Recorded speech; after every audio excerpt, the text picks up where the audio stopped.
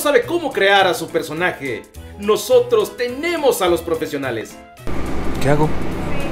Para su imagen, le recomendamos Y entre escena y escena, polvito para matar el brillo.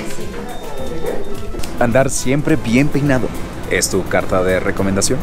la mejor opción en su vestuario. Un blazer nunca falla para darte un toque de elegancia. Y los zapatos siempre tienen que combinar con el cinturón. Y con todos estos consejos ya estoy listo para interpretar a Pablo en esta historia me suena.